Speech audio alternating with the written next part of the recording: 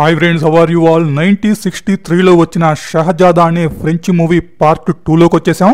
Part one ఎవరైనా miss అయ్యి ఉంటే గనక లింక్ కింద డిస్క్రిప్షన్ బాక్స్లో ఉంది.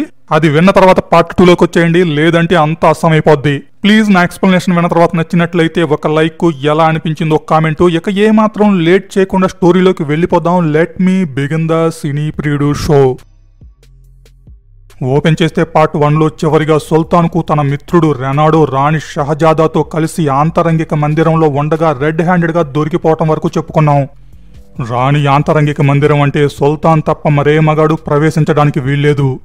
అలాంటి చోట వీరిద్దరూ కలిసి కనిపించారు అంటే ఇక వాళ్ళను వాళ్ళు కూడా డిఫెండ్ చేసుకోవడానికి లేదు. ఎట్టి పరిస్థితుల్లోనూ మళ్ళీ కలవకూడదు అనుకున్నారు కానీ కలిసేశారు. దాంతో తాము చేసిన పనికి సుల్తాన్కు ఎటువంటి సంజాయిషి ఇచ్చుకోలేరు. సుల్తాన్కు షహజాదా మీద లోపల కోపం కట్టలు తెంచుకుంటున్నా దాన్ని బయటికి కనపడనివ్వకుండా ఇలా అడుగుతాడు? నన్ను పెళ్ళి చేసుకోవాలని నీపై ఎటువంటి ఒత్తిడి లేదు. అయినా నీ అంతట నువ్వుగానే పోటీలో పాల్గొని నా భార్య అవ్వాలనుకున్నావు అయ్యావు. ఒక్కసారి నా భార్య అయ్యాక నీ గతాన్నంతా వదిలేసి జీవితాంతం నా కోసం కట్టుబడాల్సిన నువ్వు. ఇప్పుడు ఇలాంటి సిగ్గుమాలిన పనిచేసి నీ భర్తకే కాదు నీ సుల్తాన్కి ద్రోహం చేశావు. నీలాంటి ద్రోహి ఉండాల్సింది రాజమందిరంలో కాదు. తీసుకెళ్ళి వెయ్యండి చెరసాలలో అని ఆజ్ఞాపిస్తాడు. షహజాదా ఏం మాట్లాడకుండా ఆ శిక్షను అంగీకరించి వెళ్తుంది. ఎందుకంటే సుల్తాన్ అడిగిన ప్రశ్నకు తన దగ్గర ఎటువంటి జవాబు లేదు కాబట్టి. రెనాడోనేమో ఇందులో తన తప్పేం లేదు ఏదైనా శిక్ష విధించాలి అనుకుంటే తనకు కాదు నాకు విధించండి. దాన్ని నేను సంతోషంగా స్వీకరిస్తాను అంటాడు.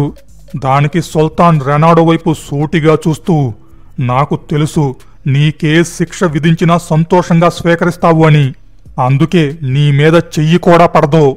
తన చేతికి సంఖ్యలు పడితే అది నీకు పడ్డట్టే. తను చెరసాలలో ఉంటే నువ్వు ఉన్నట్టే. రేపు తనకు వెయ్యబోతున్న శిక్ష నీకు వేసినట్టే. అందుకే నిన్ను స్వేచ్ఛగా వదిలేస్తున్నాను వెళ్ళిపో అంటాడు. వెళ్ళమంటే ఎలా వెళ్తాడు? నిద్రాహారాలు మానేసి పగలు రాత్రి షహజాదాను బంధించి ఉంచిన చెరసాల వైపే చూస్తూ ఉంటాడు. షహజాదా చేసిన తప్పుకు శిక్ష పడే రోజు వస్తుంది. ఆ తప్పుకు శిక్ష మరణశిక్ష అందరూ చూస్తుండగా మొండెం నుండి తలను వేరు చెయ్యడం. అయితే అంతకన్నా ముందు యాభై కొరడా దెబ్బలు. ఒకవేళ చనిపోబోయే వారికి కొరడా దెబ్బలెందుకని ఎవరైనా జాలిపడితే ఆ శిక్షను వాళ్ళు స్వీకరించవచ్చు. ఆ అనౌన్స్మెంట్ రాగానే అప్పటిదాకా నీరసంతో కుంగిపోయినవాడు కాస్త శక్తినంతటిని కూడగట్టుకొని ముందుకు వస్తాడు రెనాడో. ఆ శిక్ష నాకు విధించండి అని యాభై కొరడా దెబ్బలు ఒక్కొక్కటి వీపుపై పడుతుంటే అక్కడ వరకు ఉన్న తోలు లేచి వస్తుంటుంది. అలా యాభై పూర్తయ్యేసరికి స్పృహ తప్పి అక్కడే పడిపోతాడు. ఇక మిగిలింది శిరచ్ఛేదన షహజాదా మోకాళ్ళపై కూర్చొని శిరస్సు వంచుతుంది.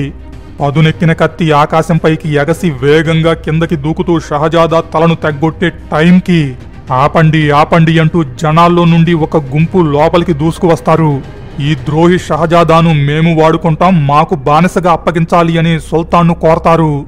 అసలు వీళ్ళెవరూ రాణిని వారికి బానిసగా అప్పగించాలని కోరడమేంటి అనుకుంటున్నారా? ఎందుకంటే అది వారి హక్కు. వీరంతా రాజ్యంలోని భిక్షగాళ్ళు. ఎవరైనా స్త్రీ పెళ్ళైన తర్వాత అక్రమ సంబంధం పెట్టుకుందని నేరారోపణ కింద శిక్ష పడితే ఒకటి వారికి మరణశిక్ష విధించవచ్చు లేదా భిక్షగాళ్ళు గనక స్త్రీలను కోరుకుంటే వారిని తమ బానిసలుగా పొందవచ్చు. అది స్వయంగా మహారాణైనా సరే. అలా అని బాగ్దాద్ రాజ్యాంగంలో రాసుంటుంది. ఇది వారి హక్కు. సో ఎవరూ అడ్డు చెప్పటానికి లేదు. దాంతో సుల్తాన్ సరే తీసుకెళ్ళిపోండి అంటాడు. షహజాదా వద్దు సుల్తాన్ నాకు మరణశిక్ష విధించండి. నన్ను వీరితో పంపొద్దు అని ప్రాధేయపడుతుంది. బట్ ఆర్తనాదాలు ఏమీ పనిచేయవు పట్టుకొని పట్టుకెళ్ళిపోతారు. ఇక స్పృహ నుండి తేరుకొని విషయం తెలుసుకున్న రెనాడో తన మనుషులను పంపి ఆ భిక్షగాలు షహజాదాను ఎక్కడకు తీసుకువెళ్ళారో కనుక్కోమంటాడు. అయితే అది లా ప్రకారం జరిగింది. దాన్ని మీరితే సుల్తాన్ను ఎదిరించినట్టే. అయినా పర్లేదు షహజాదా కోసం సుల్తాన్నైనా ఎదిరించవచ్చు అంటాడు. ఎలాగోలా ఆ ఆచూకీని కనిపెట్టిన తన మనుషులు షహజాదాను వారి నుండి విడిపించి తీసుకువస్తారు. బాగ్దాద్కు దూరంగా ప్రయాణం సాగుతుంది. కొంత దూరం వెళ్ళాక రెనాడో తన మనుషులతో ఇక ఈ సమస్య మా ఇద్దరిది. చావేదో బతికేదో మేమే తేల్చుకుంటాం. మీరంతా వెళ్ళిపోండి అని పంపేస్తాడు.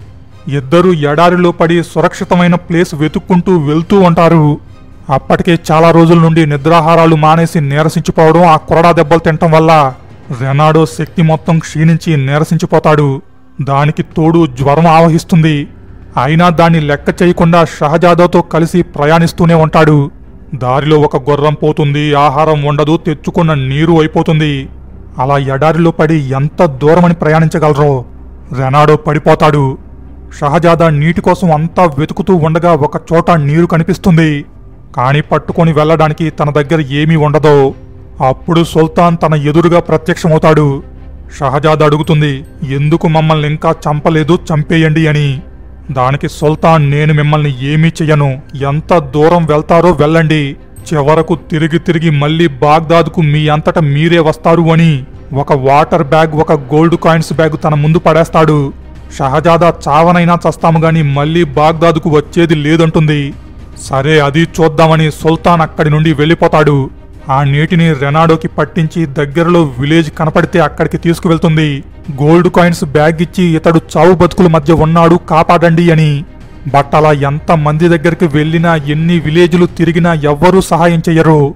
అంతా బాగ్దాద్ వైపు చూపిస్తూ ఉంటారు. మీరు వెళ్ళాల్సింది ఎక్కడికి అని. రెనాడోలో ఎటువంటి చలనం ఉండదు. ఎక్కడో కొంచెం కొనప్రాణం తప్ప ఆల్మోస్ట్ చనిపోయే స్టేజ్కి వచ్చేశాడు.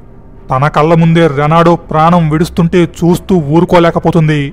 తను తీసుకున్న నిర్ణయం రెనాడోకి కూడా ఇష్టం ఉండదు అని తెలుసు.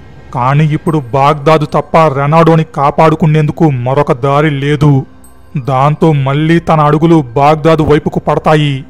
సుల్తాన్ను కలిసి ప్రాధేయపడుతుంది రెనాడోని కాపాడమని.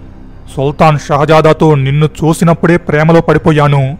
అందుకే నిన్ను మరణశిక్ష నుండి తప్పించేందుకు రాజ్యాంగం మొత్తం తిరగేసి ఆ భిక్షగాళ్ళను రప్పించి వారితో పంపాను.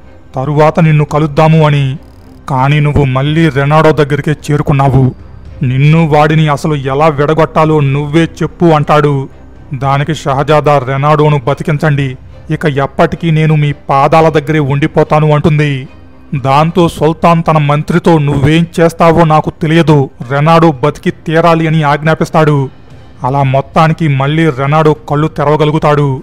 తను కళ్ళు తెరిచేసరికి బాగ్దాదులో ఉన్నాడు అంటే అర్థం చేసుకుంటాడు. తన ప్రాణానికి బదులు షహజాదా ఏం త్యాగం చేసుంటుందో షహజాదా మాటిచ్చేసింది. ఇక రెనాడో తన కళ్ళ ముందు ఉండకూడదు మళ్ళీ బాగ్దాదుకు తిరిగి రాకూడదు. దాంతో ఫైనల్ గుడ్ బైస్ తర్వాత రెనాడో తన పర్సనల్ సైన్యాన్ని తీసుకొని బాగ్దాదును వేడతాడు. ఇప్పుడు ఈ గుంటనక్కలో హర్లిన్ తన న్యూ బాయ్ ఫ్రెండ్ తమ అసలు ప్లాన్ను అమలు చేస్తారు. సుల్తాన్ను షహజాదా గొడవలో పడేసి చాలా రోజుల నుండి రాజ్య కార్యకలాపాలు పట్టించుకోకుండా ఆపగలిగారు. ఆ టైంను యూస్ చేసుకొని చాప కింద నీరులా మెల్లగా బాగ్దాదులోకి తీర్థయాత్రికుల పేరుతో కిరాయి సైన్యాన్ని రప్పిస్తుంటారు. ఇటువైపు రెనాడో కూడా లేకపోయేసరికి గవర్నమెంట్లో కొంతమంది హయ్యర్ ఆఫీసర్స్ను వారి ద్వారా కొంత సైన్యాన్ని తమ వైపుకు తిప్పుకుంటారు. ఇవేమీ తెలియని సుల్తాన్ ఎప్పటికైనా రెనాడోని బాగ్దాదు నుండి పంపి షహజాదాను తన వశం చేసుకున్నాను అనుకుంటాడు. షహజాదాతో రెనాడోను నీ నుండి దూరం చేసినందుకు నా మీద కోపంగా ఉన్నావా అని అడుగుతాడు. దానికి షహజాదా మీ మీద ఎందుకుంటుంది కోపం? మీరు ఎప్పటి వరకు నా విషయంలో ఎటువంటి తప్పు చేయలేదు. తప్పులన్నీ నా తొందరపాటు వల్ల పరిస్థితుల వల్లే జరిగాయి. మీ మీద నాకున్న గౌరవం ఎప్పటికీ తగ్గదు. అయితే మీ మీద ప్రేమ పుడుతుంది అని మాత్రం చెప్పలేను అంటుంది. సుల్తాన్ ఈ జన్మకి నువ్వు నా పక్కనుంటే చాలు అని షహజాదాను దగ్గరకు తీసుకోబోతాడు. ఎంతలో కోటలో తిరుగుబాటు మొదలవుతుంది. తమ సైన్యంలో చాలామంది శత్రు సైన్యంలో కలిసిపోయారు. అడ్డుకునేందుకు రెనాడో కానీ అతడి సైన్యం కానీ ఇప్పుడు బాగ్దాదులో లేరు. దాంతో సుల్తాన్కు కోట నుండి బయటపడటమే మన ముందున్న మార్గమని మంత్రి సూచిస్తాడు. సుల్తాన్ షహజాదాను తీసుకొని తన పర్సనల్ సైన్యంతో కోట నుండి బయటపడతాడు అయితే శత్రు సైన్యం వెంబడిస్తూనే ఉంటుంది. సుల్తాన్ను కాపాడేందుకు షహజాదా గెటపు మార్చుకొని మరో మార్గం వైపు వెళ్తుంది. దాంతో శత్రు సైన్యం సుల్తాన్ అనుకొని వెంబడిచి పట్టుకుంటారు. బట్ అది సుల్తాన్ కాదని తెలియడంతో షహజాదాను బంధిస్తారు. సుల్తాన్ తప్పకుండా తన కోసం తిరిగొస్తాడు అని షహజాదా శత్రు సైన్యానికి దొరికిపోయింది అని తెలుసుకున్న సుల్తాన్ మళ్ళీ శత్రు సైన్యం వైపు వస్తాడు. అయితే శత్రు సైన్యం ఐదు వేల మంది ఉంటే తన దగ్గర మాత్రం ఐదు వందల మంది సైన్యం మాత్రమే మిగులుతారు. బందీగా ఉన్న షహజాదా తప్పించుకునేందుకు తన గుర్రాన్ని నేలలోకి దూకిస్తుంది. ఎంత పైనుండి పడితే చావటం గ్యారెంటీ అనుకొని వాళ్ళు అక్కడి నుండి వెళ్ళిపోతారు. కాని చేపలు పట్టేవారు షహజాదాను కాపాడతారు. స్పృహలోకి వచ్చిన షహజాదాకు సుల్తాన్ను కాపాడాలి అంటే ఒకే మార్గం కనిపిస్తుంది. అదే రెనాడో. రెనాడోను ఇక చూడను అని సుల్తాన్కు మాటిచ్చింది.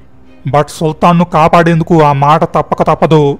రెనాడోను వెతుక్కుంటూ వెళ్తుంది. రెనాడోతో నేను నీకోసం రాలేదు సుల్తాన్ కోసం వచ్చాను అంటుంది.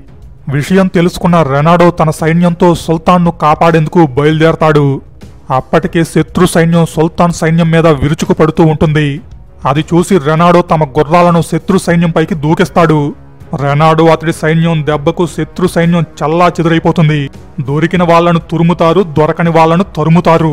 అయితే ఈ గుంటనక్క పారిపోదాం అనుకున్న ఆ ఛాన్స్ ఇవ్వడు వెంటపడి వెంటపడి తరిమి తరిమి వెతికి వెతికి చంపుతాడు. అలా రెనాడో బాగ్దాదుపై సుల్తాన్పై జరిగిన కుట్రను తిప్పికొడతాడు. షహజాదాతో కలిసి శిబిరంలోకి వెళ్ళగానే వీళ్ళిద్దరిని మళ్ళీ కలిసి చూసిన సుల్తాన్ వారితో అంటాడు మిమ్మల్ని ఇలా కలిసి ఉండగా చూడకూడదు అని మొదటి నుండి ప్రయత్నిస్తూనే ఉన్నాను. కాని పరిస్థితులు మిమ్మల్ని మళ్ళీ మళ్ళీ కలుపుతూనే ఉన్నాయి. ఆ విధి ఇప్పటికే మీ రాతను రాసేసింది. నేనేం చేసినా ఇక దాన్ని మార్చలేను అని అర్థమైంది. ఇప్పటి నుండి షహజాదాను నా భార్య స్థానం నుండి విముక్తి చేస్తున్నాను. మీ జీవితాన్ని కలిసి ప్రారంభించండి ఇక సెలవు అంటాడు. అలా షహజాదా రెనాడో ఫైనల్లీ ఒక్కటవగలుగుతారు అక్కడితో మూవీ ఎండ్ అవుతుంది so guys that's all about story I hope మీకు నచ్చింది అనుకుంటున్నాను. ప్లీజ్ నచ్చితే గనక ఒక లైక్ ఎలా అనిపించిందో ఒక కామెంట్. కుదిరితే సబ్స్క్రైబ్ చేసుకొని బెల్ ఐకాన్ కూడా క్లిక్ చేసుకోండి. వెరీ వెరీ వెరీ సూన్ మనకు ఇంట్రెస్టింగ్ వీడియోతో మళ్ళీ మనం కలుద్దాం. అంతవరకు సయోనారా.